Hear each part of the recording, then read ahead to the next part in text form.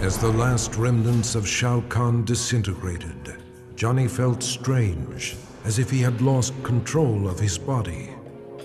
Suddenly, powerful energy burst forth, destroying everything around him.